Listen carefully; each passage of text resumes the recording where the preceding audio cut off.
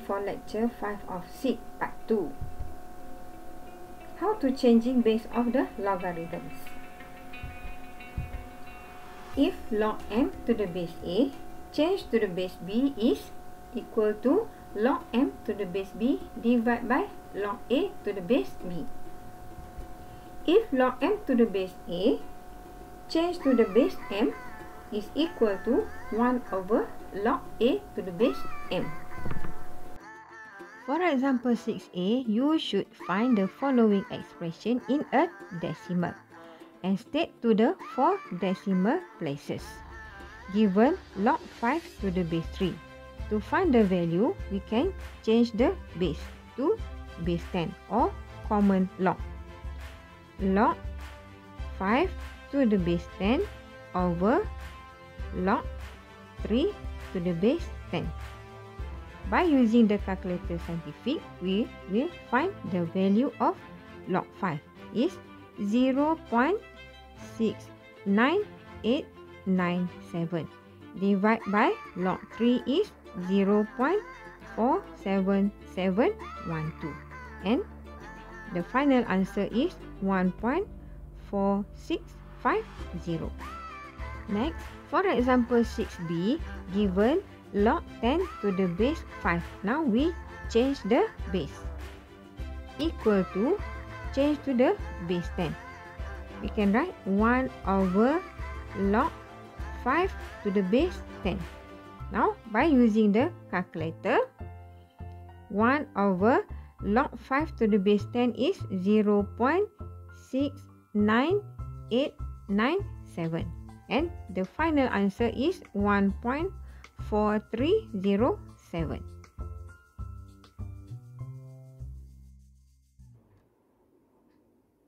For example 7a, the question is to solve equation involving logarithms.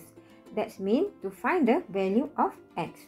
Given log x plus 2 minus log x minus 10 is equal to log 2. On the left hand side, we should use the quotient rule. So, we write log x plus 2 over x minus 10 is equal to log 2.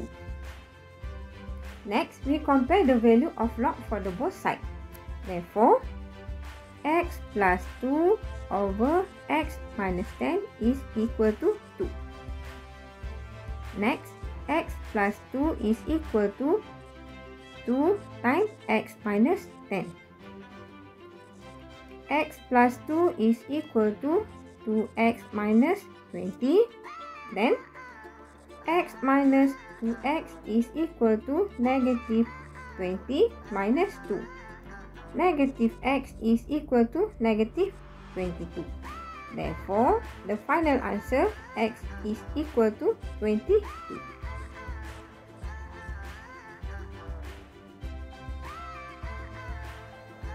Next, for example 7b, given the question is log x to the base 2 plus log x minus 7 to the base 2 is equal to 3.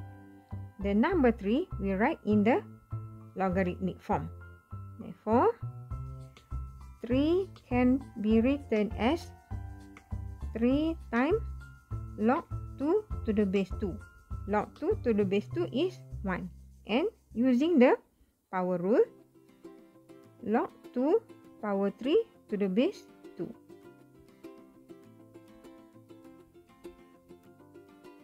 For this equation, on the left hand side, we can use the product rule. Log x times x minus 7 to the base 2 is equal to 3 can be written as log. Log 2 power 3 to the base 2. Next, compare the value of log for the both sides. Therefore, x times x minus 7 is equal to 2 power 3. We expand x squared minus 7x is equal to 8. And we write in the general form of quadratic x squared minus 7x minus 8 is equal to 0. and we factorize completely.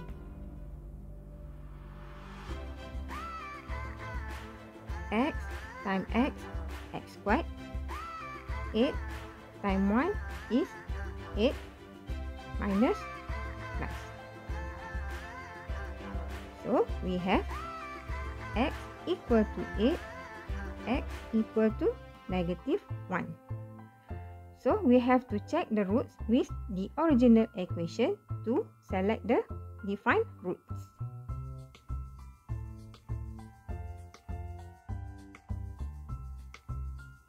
Let's check the root of the equation. When x equal to 8, we substitute the value of x in the original equation. Log 8 to the base 2 plus log 8 minus 7 to the base 2 is equal to 3. Then log 8 to power 3 to the base 2 plus log 1 to the base 2 is equal to 3.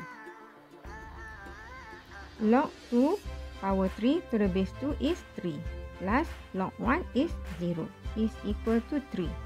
Left hand side 3 and right hand side 3. True. Next. When x equal to negative 1, substitute x is negative 1 log negative 1 to the base 2 plus log negative 1 minus 7 to the base 2 is equal to 3.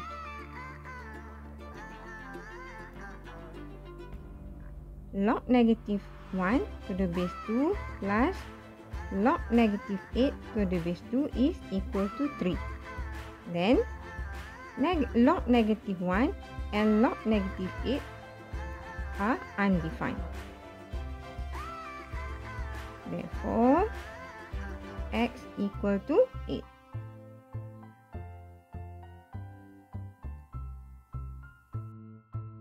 Then, for example 7c, to solve this equation, given log x to the base 10 minus 4 times log 10 to the base x is equal to 3. We should change to the same base for this equation we choose base 10. Log x to the base 10 minus 4 times change the base is 1 over log x to the base 10 is equal to 3. To write for the simple equation, we let u is equal to log x to the base 10.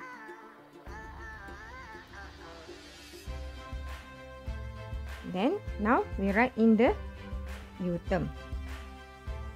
u minus 4 times 1 over u is equal to 3. Then time the equation with u. Then u squared minus 4 is equal to 3u. And write in the general form of quadratic equation. u squared minus 3u minus 4 is equal to 0. Then factorize completely. u times u, u squared.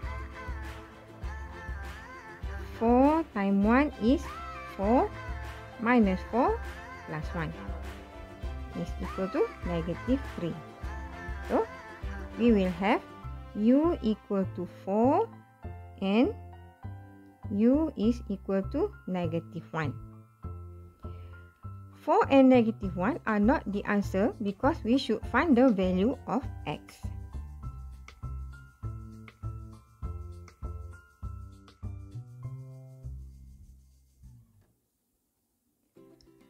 When u is equal to 4, then log x to the base 10 is equal to 4 and x equal to, to the, the base is 10 so 10 to the power of 4 next when u equal to negative 1 log x to the base 10 is equal to negative 1 and x is equal to 10 to the power of negative 1.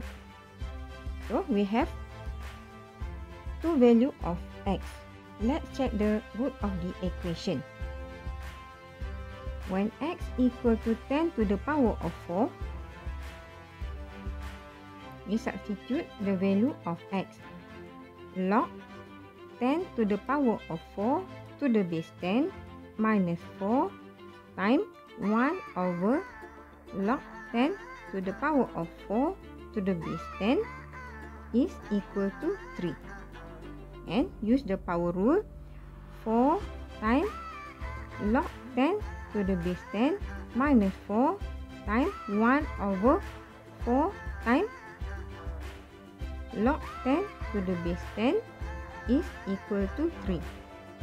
Next, 4 log 1 log 10 to the base 10 is 1 minus 4 1 over 4 times log 10 to the base 10 is 1 is equal to 3.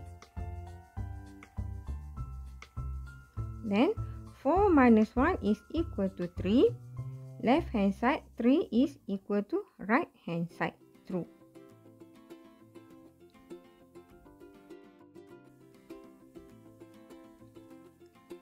when x equal to 10 to the power of negative 1 we substitute the value of x log 10 to the power of negative 1 to the base 10 minus 4 times 1 over log 10 to the power of negative 1 to the base 10 is equal to 3. Then negative 1 times log 10 to the base 10 minus 4 times 1 over negative 1 times log 10 to the base 10 is equal to 3. We know log 10 to the base 10 is 1. Therefore, negative 1 minus 4 times 1 over negative 1 is equal to 3. Negative 1 plus 4 is equal to 3. Left hand side 3 is equal to right hand side 3. True. Therefore, x is equal to 10 to the power of 4 and x equal to 10 to the power of negative 1. The answer. That's all for the lecture 5 or 6. Next, we continue for the lecture 6 of 6. Thank you.